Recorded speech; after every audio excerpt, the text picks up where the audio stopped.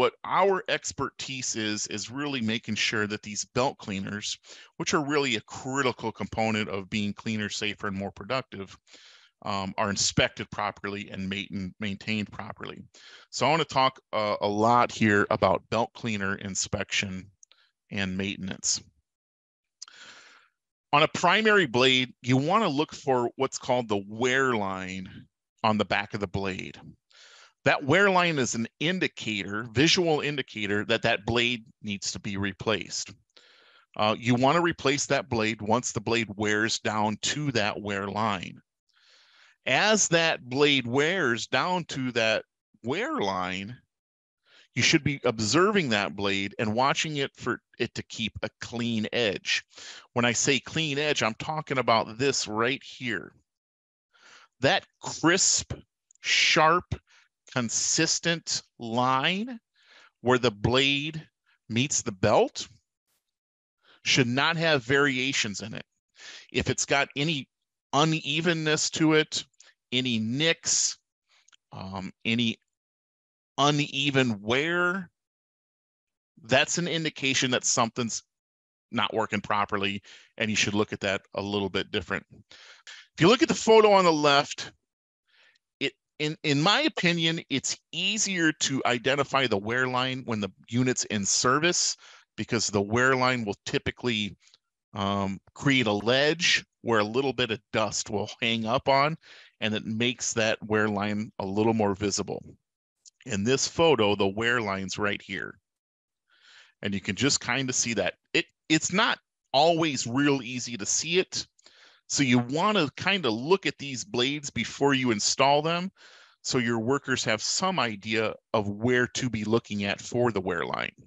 Now, if you look at this photo on the right, this is a brand new blade just about ready to get out for shipment. And there's the wear line running along there. What manufacturers of these blades do is in the molds that they use to pour their urethane, that mold usually has a groove in it when that urethane, which is at production a liquid, when that liquid is poured into that typically aluminum uh, mold, that urethane fills in that groove that's in that mold, and that creates this ledge, which is the wear line for the blade. So a little more on that here coming up, but that's where that line is um, some manufacturers, depending on who's you're using, but some manufacturers do not have a wear line. Um, there's a few out there that just don't put them in there. And on those, it's really important to understand when the performance of that blade sacrifices. Uh, you need to watch those a little bit closer. But most um, reputable belt cleaner manufacturers do provide that. So if you're using any of the big guys out there, um, you're probably going to have a wear liner, a wear line on there. So here's some um, some some higher end, some of the big boys' blades here that you see on the left. Um, just samples of the blades, and you can see those wear liner, those wear lines um, into the groove of the belt. Um, I also want to point out this diagram on the right that kind of helps you understand why to let the blade wear all the way down to the wear line. Um, well engineered belt cleaners and well engineered blades are designed to make sure that you get full life out of the blade. And that's why they have this kind of unique curve to them that you see in those three profiles at the bottom. Typically, the more dramatic that curve is, the better that thing will wear over time.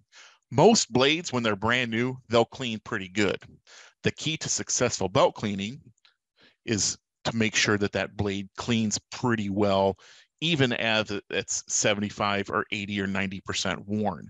And that's what the curve of these blades do. The bigger the curve, the better the performance as it wears because that curve is what keeps that constant contact area and constant what we call scraping area that you see on the outside. So it's really important to recognize these wear lines and how the life of the blade relates to the design of the blade and where the wear line is. So I'm going to show you where this blade, each one of these blades should wear considering this constant angle and this constant area. So the blade on the left over time is going to wear like that. The blade in the middle over time is going to wear like this. The blade on the right over time is going to wear like that. So you've got three different scenarios here. The scenario on the left compared to the scenario in the middle compared to the scenario on the right shows you how much urethane you're actually getting in that blade. The more urethane you have, the longer that blade's going to last. So you can clearly see in these three different examples the different amount of urethanes that you have, which is a direct relation to how long that blade's going to last. So let's talk a little bit about inspection of those blades and what those blades should look like. You've probably heard this before. If you've joined some of our other webinars, this is nothing new, but it's really important that you inspect the wear pattern on those primary blades. And you want to watch for any uneven wear in that urethane like you see in the diagram on the right. If that blade doesn't wear evenly, it's not going to perform and you're not going to get the full life of the blade that you intended to get. So you want to make sure that that blade is wearing evenly.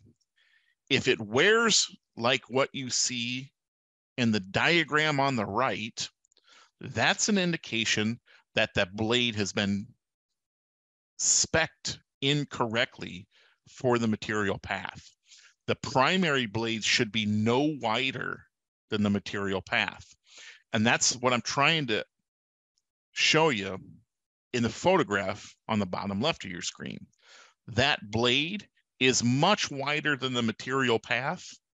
The material is what wears down that urethane, and that's going to create that unevenness or the wear pattern that you see in the diagram on the right.